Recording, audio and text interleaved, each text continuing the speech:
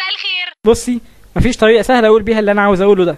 بس أنا لازم أسيب الرحله سيب الرحلة. ليه؟ هو إحنا عملنا إيه؟ لا لا لا لا. أنتوا ناس زي الفل. بس أنا مش عايز أطلع رحله هو إحنا اشتكينا. لا أكيد ضايقناك في حاجة. لا لا لا. أنا اللي بصحى متأخر. وأنتوا بتتحركوا 8 بالظبط. وأكيد هتلاقوا مليون واحد أحسن مني. لا لا ما تقولش كده على نفسك. أنت جميل. أكيد إحنا عملنا حاجة. عملنا إيه بقى؟